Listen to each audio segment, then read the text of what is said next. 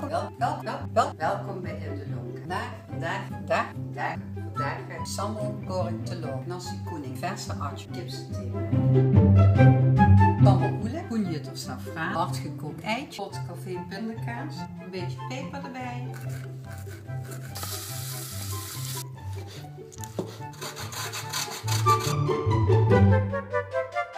Drie tenen knoflook, vier eetlepels ketchup,